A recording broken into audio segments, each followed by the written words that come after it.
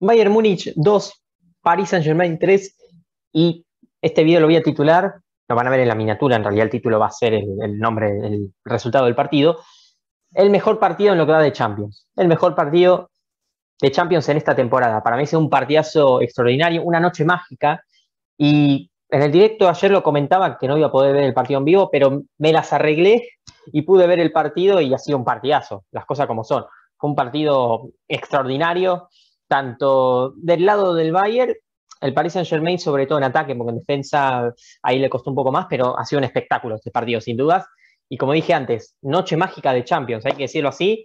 Y vamos a entrar de lleno, pero primero con las formaciones de los equipos. El Bayern con su 4-2-3-1 de siempre. Y acabemos, el doble 5, Goreska Kimmich, importante, no estaba Lewandowski, jugó Chupo Motín hoy, que metió un gol.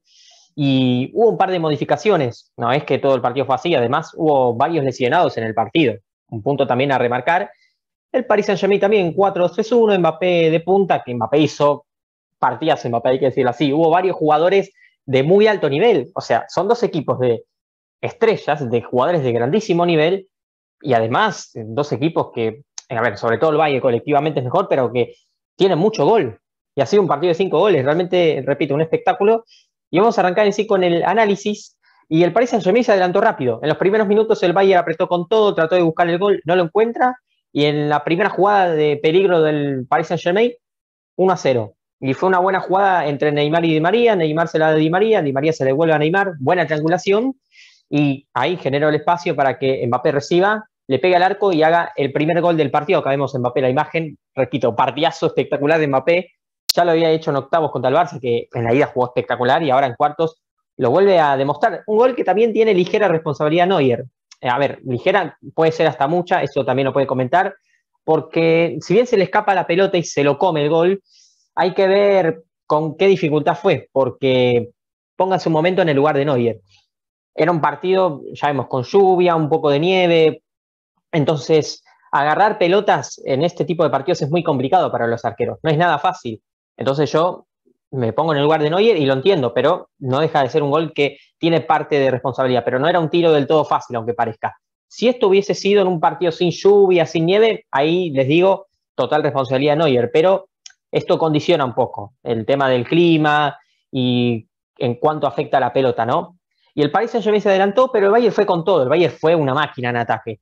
Generó un montón de peligro por las bandas, generando también peligro en los centros, varias tapas importantes de Keylor Navas, que este señor hizo un partidazo, hay que decirlo así. Keylor Navas en Champions es un jugador que brilla. Ha hecho varias atajadas importantísimas hay que decirlo, y una fue sobre todo una chupomotín, varios cabezazos que tapó y estaba espectacular. El Paris Saint Germain trataba de defenderse como podía, es más, metió el segundo gol en el segundo tiro que tuvo. Un gran pase de Neymar, un pase clave de Neymar. Marquinhos no estaba fuera de juego, estaba detrás de la línea de los defensores del Bayern, rompe el offside, queda mano a mano contra Neuer y define para segundo. Marquinhos, que además, ni bien festejó el gol, se lesionó y tuvo que salir, en su lugar entró Ander Herrera. Partidazo de Marquinhos en el tiempo que estuvo, esa media hora, porque tuvo bastantes despejes, recortó muy bien y le estaba dando cierto orden a la defensa del Paris Saint-Germain que lo estaba sufriendo mucho el partido.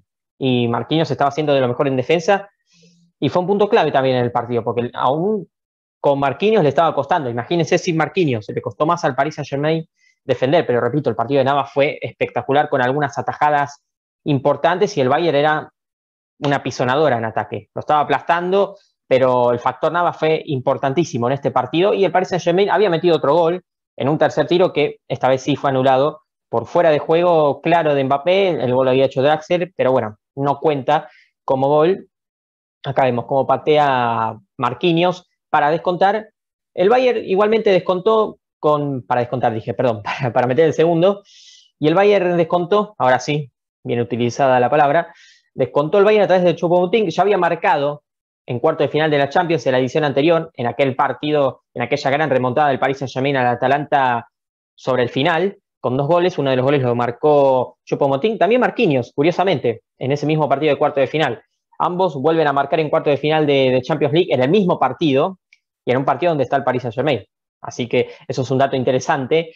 Y descontó Moting no es que hizo un, partidazo, metió un gol que es importante siempre en un delantero, pero estando Lewandowski viendo que tiró varios centros el Bayern, para mí hubiese generado más peligro el polaco, no tuvo nada que hacer nada, imposible para él, y en el descanso se iba 1-2 el Paris Saint Germain, el Bayern descontaba, y había que ver cómo podía sostenerse, porque además ambos equipos tuvieron lesiones, tuvo que salir Goreska, entró en su lugar Davis, pasó a jugar Davis de lateral izquierdo, Álava pasó a jugar en el doble 5, ahí en el medio campo, y Lucas Hernández pasó a jugar de central y cambió toda la disposición. También tuvo que salir Siule, entró en su lugar Boateng, y por supuesto esto también condiciona el partido, hay que decirlo. Y el Paris Saint-Germain intentó con varios contragolpes, tuvo Neymar una clara para liquidar el partido, quedó mano a mano contra Neuer y se perdió una chance importante. Neuer muy bien en la tapada. También Mbappé tuvo una clarísima que tapó Neuer, una jugada donde en realidad era fuera de juego. El Bayern intentaba con algún remate de Kimmich, alguno de Pavar, varias atajadas importantes de Navas. Estaba muy cerca, estaba muy cerca el Bayern. En cualquier momento parecía que lo empataba y lo terminó empatando. Gol de Müller en una pelota parada que lo comento siempre en este canal, es clave y más en este tipo de partidos. Centro de Kimmich, cabezazo de Müller y empata el partido 2 a 2 y parecía que el Bayern lo podía remontar, parecía que el Paris Saint-Germain estaba con dudas, pero rápidamente a los pocos minutos, nueve minutos después, diez minutos después, metió el tercer gol del partido, lo hizo Mbappé, quedó expuesta la defensa del Bayern, Mbappé enganchó para adentro, la cruzó al palo derecho de Neuer y metió ese 3 a 2 clave. El Bayern siguió insistiendo, pero ya no fue esa máquina que fue hasta el gol del empate, digamos, ¿no? Si bien siguió generando situaciones, se notaba un poquito menos de intensidad porque era muy difícil sostenerla todo el partido y no hizo más cambios. Fueron esos dos cambios y, ya está. Por parte del Bayern, París sí que hizo un par de cambios más y se sostuvo por algunas atajadas importantes de Navas, también hubo actuaciones individuales muy buenas y como equipos más el Bayern. Pero esto es la Champions y la contundencia pesa muchísimo. Vamos a ver algunas actuaciones individuales muy buenas. Kimmich para mí es un partidazo. Kimmich cortó, estuvo excelente con la pelota, realmente muy bien, muy bien. Lo de Kimmich es uno de los mejores mediocampistas del mundo, hay que decirlo así. Para mí, de contención, hoy por hoy es el, mejor, sin duda. Partidazo impresionante Kimmich, Müller también. Müller hizo un partido extraordinario, metió un gol, estuvo generando peligro en varias situaciones y es un jugador para mí claramente infravalorado. Eh, es el eje del esquema del Bayern en ataque y es espectacular. Davis entró muy bien al partido, salvo en, algún que otro centro que no estuvo del todo preciso, generó mucho peligro con Coman en el primer tiempo, hay que decirlo así, y estuvo bastante bien. Keylor Navas, un partidazo. Keylor Navas jugó 10 puntos, no 8,8, 10 puntos. Está bien, alguien puede decir, no, pero le hicieron dos goles.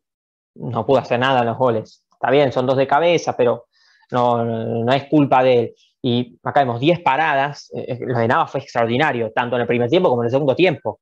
En parte por él se explica el resultado. No totalmente, porque también, obviamente, el Paris Saint-Germain atacó y metió los goles, pero por la cantidad de goles que hizo el Bayern se explica por Navas. Una vez más en Champions demostrando el arquero espectacular que es. Y hay un dato con Navas. Jugó en cuatro Champions de titular. Hay dos que no fue titular, pero en otras cuatro sí. En esas cuatro que fue titular, ganó tres y en una llegó a la final, es decir, cuatro finales.